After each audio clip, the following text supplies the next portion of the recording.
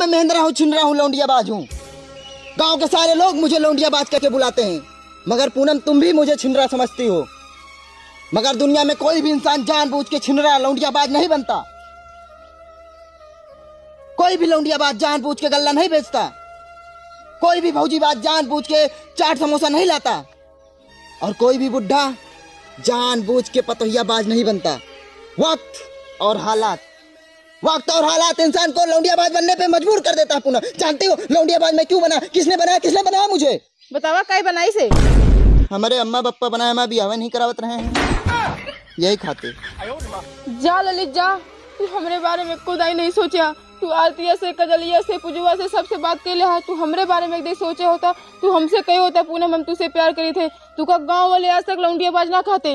समझे कि नहीं?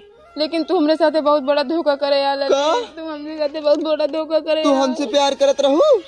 लेकिन अब नहीं करी तुझसे हम प्यार ठीक है? तू एक नंबर की छिनरा हुई हाँ। अब चला जा हमरे लगे से।